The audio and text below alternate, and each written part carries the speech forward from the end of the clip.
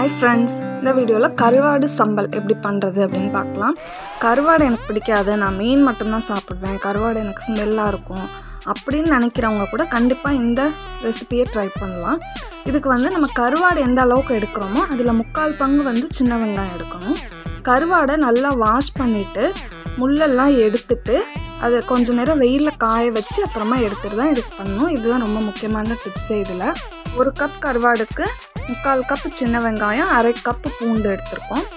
வரமிளகாய் காரத்துக்கு ஏற்ற மாதிரி ஒரு ஏழு எட்டு வரமிளகாய் எடுத்துக்கலாம். எலுமிச்சம்பழம் சாறு ஒரு நாலஞ்சு ட்ராப்ஸ் தான் ஊற்ற போகிறோம் அந்த அரை எலுமிச்சம்பழத்தை நம்ம முழுசாக போட போகிறதில்ல வெள்ளை சர்க்கரை இல்லைன்னா நாட்டு சர்க்கரை ஒரு ஸ்பூன் எடுத்துக்கோங்க. தேங்காய் துருவல் கால் கப் அளவுக்கு எடுத்துக்க போகிறோம் இப்போ முதல்ல நம்ம கருவாடை நல்லா காய வச்சு எடுத்துருக்கோம். முள்ளெல்லாம் எடுத்த கருவாடு மறந்துடாதீங்க. இது வந்து மிக்சர் ஜாரில் போட்டு முதல்ல அரைச்சி எடுத்துக்க போகிறோம் ஸோ லைட்டாக கரகரப்பாக தான் அரைக்கணும். அப்போ தான் சம்பல் நல்லாயிருக்கும். நைஸாக அரைச்சிடக்கூடாது. முதல்ல கால் பதம் அளவுக்கு தான் அதை அரைக்கிறோம். கருவாடை அரைச்சிட்டு நம்ம மற்ற இன்க்ரீடியன்ஸ் எல்லாம் போட்டுட்டு அரை பதம் அளவுக்கு கரகரப்பாக அரைச்சி தான் எடுக்கணும். அப்போ தான் சம்பல் நல்லாயிருக்கும். எந்த மீன் கருவாடு வேணால் நம்ம எடுத்துக்கலாம். இதில் வந்து நம்மளுக்கு மாசி தூள் கிடச்சிது அப்படின்னா இன்னும் பெட்டராக இருக்கும். நம்மளுக்கு மாசி தூள் கிடைக்காதனால நான் இந்த துண்டு கருவாடு எடுத்திருக்கேன். நீங்கள் எந்த மீன் வேணால் எடுத்துக்கலாம்.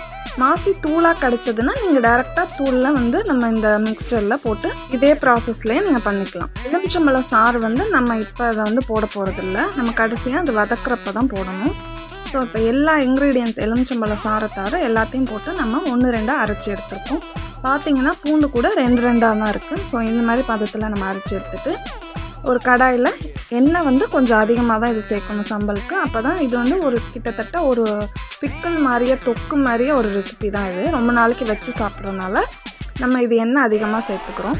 இந்த அரைச்ச நம்ம இந்த பொடியை வந்து நல்லா எண்ணெயில் போட்டு ரொம்ப நேரத்துக்கு நல்லா ஃப்ரை பண்ண போகிறோம் நாலஞ்சு சொட்டு எலுமிச்சம்பழ சாரோடு சேர்த்து இதை நம்ம ஃப்ரை பண்ணுறோம் ஸோ இதுதான் இதில் முக்கியமான ப்ராசஸ்ஸே இது எவ்வளோ நேரம் நம்ம வந்து எண்ணெயில் வதக்குறோமோ அந்த அளவுக்கு இது ரொம்ப நாளைக்கு இருக்கும்.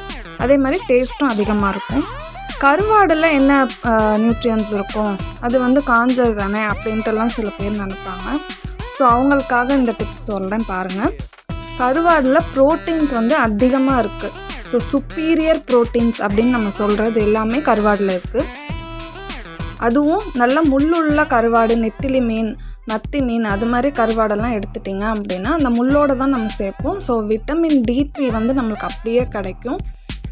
கருவாடை வந்து நல்லா வாஷ் பண்ணிடுங்க அதில் வந்து ஏற்கனவே அவங்க உப்பு போட்டு பண்ணியிருப்பாங்க அப்போ அதனால நம்மளுக்கு சோடியம் லெவல் நம்ம உடம்புல அதிகமாக ஆகிறதுக்கு சான்சஸ் இருக்குது அதனால் நல்லா வாஷ் பண்ணிவிட்டு வெந்நீரில் போட்டு வாஷ் பண்ணுங்கள் வாஷ் பண்ணிவிட்டு அப்புறமா எப்போ கருவாடு பண்ணாலும் நீங்கள் யூஸ் பண்ணுங்கள் அப்போ தான் கருவாடோட பெனிஃபிட் வந்து நம்மளுக்கு முழுமையாக கிடைக்கும். ஸோ விட்டமின் டி த்ரீ அதிகமாக இருக்குது பொட்டாசியம் மெக்னீஷியம் செலேனியம் இது மாதிரி இதெல்லாம் நம்மளுக்கு நிறைய அதில் கருவாடில் கிடைக்கிறனால நம்மளுக்கு ஹார்ட் டிசீஸ்க்கு நல்லது பிளட் ப்ரெஷருக்கு நல்லது வெயிட் லாஸ்க்கு நல்லது. அதே மாதிரியே சர்க்கரை நோய்க்கு ரொம்பவுமே நல்லது. இது இந்த கருவாடோட முழு பெனிஃபிட்ஸும் நம்மளுக்கு கிடைக்கணும் அப்படின்னா குழம்பா வச்சு சாப்பிட்டோன்னா இன்னும் பெட்டராக இருக்கும். ஏன்னா நம்ம ஃப்ரை பண்ணுறப்ப அதில் உள்ள விட்டமின் டி எல்லாம் லாஸ் ஆகிறதுக்கு சான்சஸ் இருக்குது அதனால நம்ம சேனல்லையே கருவாடு குழம்பு எப்படி டேஸ்ட்டாக பண்ணுறது அப்படிங்கிற வீடியோ உங்களுக்கு கூடிய சீக்கிரத்தில் போட போகிறோம் அதனால் நம்ம சேனலை சப்ஸ்கிரைப் பண்ணாமல் இருந்தீங்கன்னா சப்ஸ்கிரைப் பண்ணிக்கோங்க. இந்த கருவாடு சம்பல் ரெசிபி உங்களுக்கு கண்டிப்பாக எல்லாருக்கும் பிடிக்கும்னு நம்புகிறேன் இந்த வீடியோ உங்களுக்கு பிடிச்சிருந்ததுன்னா மறக்காமல் லைக் அண்ட் ஷேர் பண்ணுங்கள் தேங்க்யூ